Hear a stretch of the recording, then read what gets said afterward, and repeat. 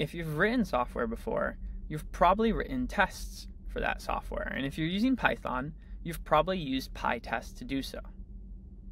If you're building applications that use LLMs, you probably want to write tests for those applications and those features.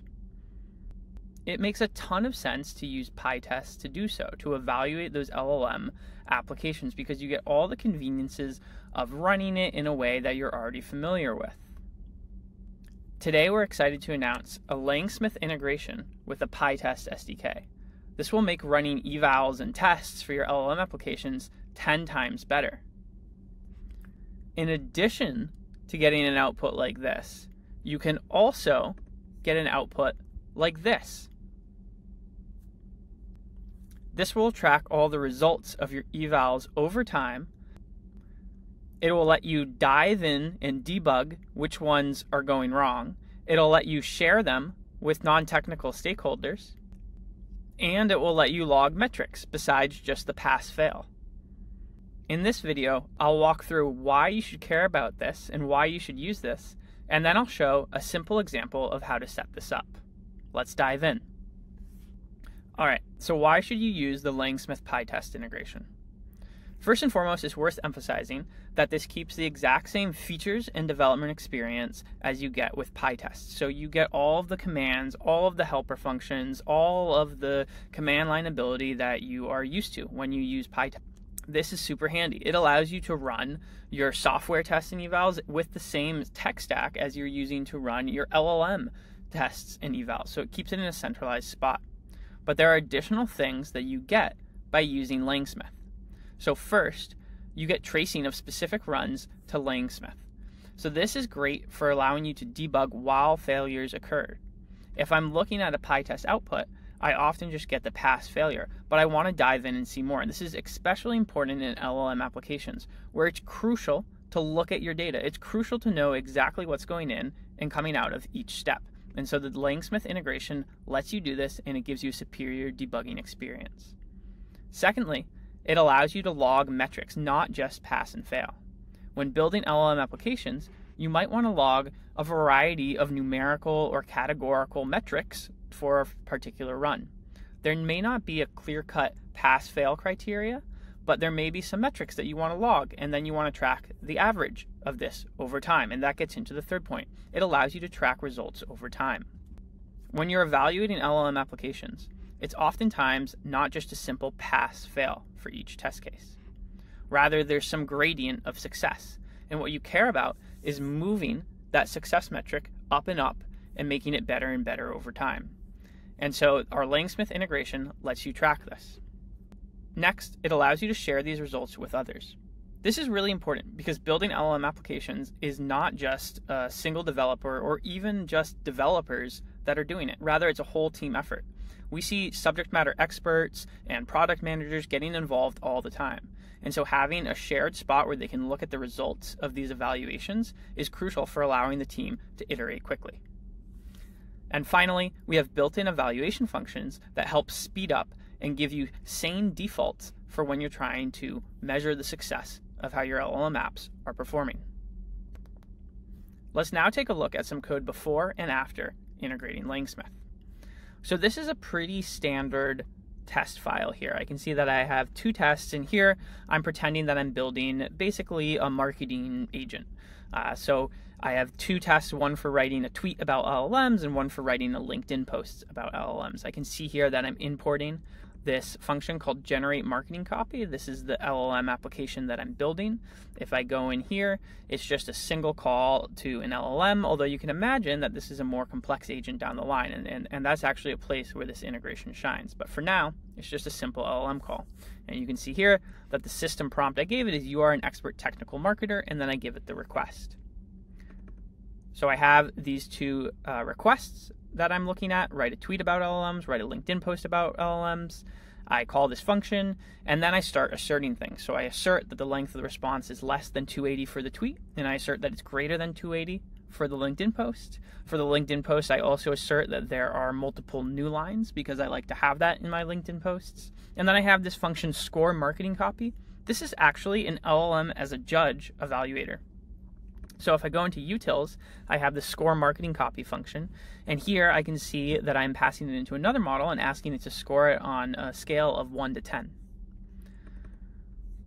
Then back here, I am taking the result of that and I'm asserting that the score is greater than 8. These are still just totally vanilla PyTest things, so I can evaluate them by going to my command line and running PyTest tests. I can see that it starts running. It's logging the output as it normally does with PyTest. And I can see that it fails. And so the first one here fails where I have a tweet that's longer than 280 characters. Great, so this is what the normal development experience looks like. And for all the reasons mentioned before, this can be improved with the Langsmith integration. So let's take a look at how I would do that, because it's pretty easy. I've got the documentation for doing this Langsmith and PyTest integration here. Let's scroll down, and I'll see that it's pretty easy to add it in here. The first thing I'm going to do is mark the test cases as a Langsmith test case. And so I can do that by doing this, and I can see that I'm going to have to do import PyTest to make that real. Awesome. What next? Let's go back here and I can see that I start logging inputs. And so here I have this line, which I'm going to import here. And so I'm going to do from Langsmith import testing. I can then do the log inputs method. So let's grab this Let's do testing dot log inputs. And the reason I'm doing this is this will show up in the test cases that'll be in the Langsmith UI. All right, awesome. Now I can do the same thing with the result, but instead of log inputs, I'm going to do log outputs.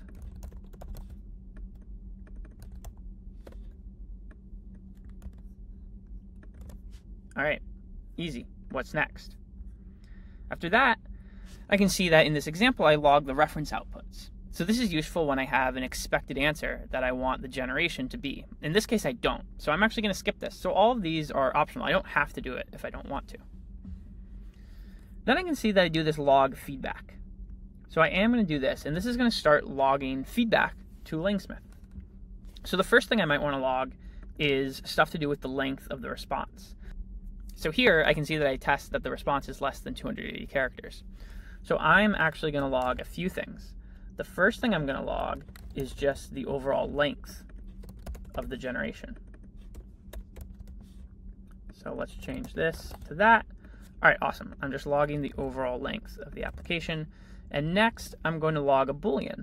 So let's do Twitter length, and this is going to assert that the length of the response is less than 280. So I'm taking the same assertion here and I'm just putting it as a feedback key that I'm logging. Note that I could keep this assert here. The reason to keep the assert here would be to break basically if I don't want to go past this. So I'd still log everything up to this spot, but then when I hit this assertion, I would break. Here, I just want to log things. I don't actually want to break or error if, if this fails, so I'm going to remove this. But again, that's totally just my choice. Here I'm going to do the same thing, except I'm going to change it to greater than 280 because it's a LinkedIn post. And I'm going to change that to LinkedIn length. I'm going to remove that. All right, I can see that here I test that there's the, these new lines. So let me do that again. And I will do new lines. And the score will be a boolean here and you know what i'm going to add in another numerical score because that's part of the value of using the Langsmith integration is that I can log things that are not just Boolean pass fail. And so new lines count, and I'm just going to do response.count, the new lines. Great. All right, and so now I have this final bit, which is the score marketing copy. So one thing that I want to do, and, and so remember, this is calling an LLM as a judge evaluator. So what I want to do is I want to actually wrap this in a special type of decorator so here I can see that there's a section on logging feedback and I can use this context manager to basically encapsulate any traces that belong not to the application but rather to the feedback. So we haven't talked about it yet, but I'm going to make a few simple changes to this LLM application as well so I can start tracing it so I can see the full kind of like trajectory of what happens. I also call an LLM here, and so I don't want to conflate those two things. I don't want those to be treated as the same. So what I'm going to do is I'm going to do this decorator, or sorry, this context manager. I'm going to call this, and then inside this context manager, and we'll see why this is important in a little bit, but inside this context manager, I'm just going to log the feedback of score, and I'll just do score dot score. There we go. Perfect. And I'm going to do the same thing here, except we can notice that I pass in the LinkedIn post here. All right. Awesome. And then the last thing is, as I mentioned, I am going to decorate my code in the Langsmith traceables. So you'll notice here that I'm not using LangChain or anything like that but I want to trace this. I want to know what's going on. So what I'm going to do is I'm going to do from Langsmith import traceable, and then I'm going to decorate it traceable there. And I'm going to do the same thing in my LLM as a judge.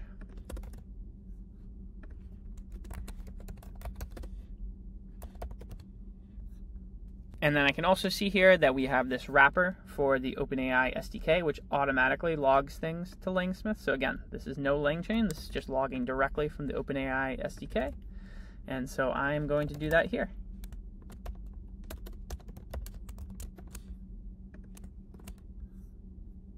And do the same thing in my agent.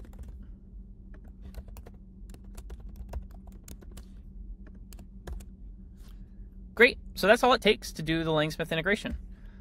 What I did was I just marked these as Langsmith test cases. I explicitly logged the inputs, outputs, and feedback, and then I decorated my code to get the tracing. Now let's see how I run this and how I log results to Langsmith. So the way that I run this is exactly the same. I can just run pytest tests. I'll notice that this fails at start, because I have not exported my Langsmith API key. So let me do that and then I'll come right back. All right, I'm back. I exported that. Let's run it again.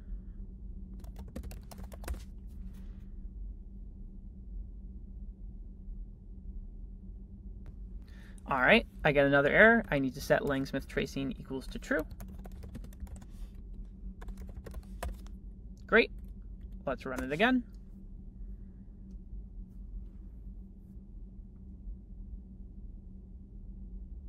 Awesome. And I can see that it's running now. After it finishes running, I can go to Langsmith to check out the results. I can see that I've got this new row here of results. I can see that I'm tracking certain results up top, such as the score of the LLM grader, the length of the text, etc. I can click in to a given run, and I can see that I have my two results here. I have the input and the outputs. And then if I also open it up in this detailed view, I can see the variety of different metrics that I left scores for. So I can see the length, the length, the the boolean for whether it is longer than 280. This is the LinkedIn length score, the number of new lines, and then whether this is greater than two, um, and then the score overall. So this got graded in eight. Um, and then I can also see the input and the output here. If I click into the output, I have this view trace button. Let's click in there and I can see that I load this trace. Here, this is the function that I called, and inside this function, this is the direct call to OpenAI. And if I load this up, I can see the exact prompt that went in, including my system message, and the exact output that came out. So now this is super handy because I can view the results here. I can see the scores. I can share this with a colleague because this is all on, hosted on the on the web um, I can look at the traces, I can debug what's going wrong, and I can compare them to previous runs, and I can start to track success over time or narrow in when things are failing. We're really excited about this Langsmith PyTest integration because we think it brings the best of two worlds together. It brings the software engineering world, which uses PyTest to run unit tests, integration tests, all of that, together with some of the ML and data science centric evaluation tools that we see people using to really dig in to these probabilistic and non deterministic applications. There's a lot of additional functionality in this integration, such as how to trace intermediate calls, grouping tests into test suites, naming experiments, caching so you don't have to make repeated calls to an LLM. And of course, you can use all of these with existing PyTest features like parameterize, xdist, async IO, and watch. There's also a really cool local mode that will run it locally and print out results. Let's see what this looks like.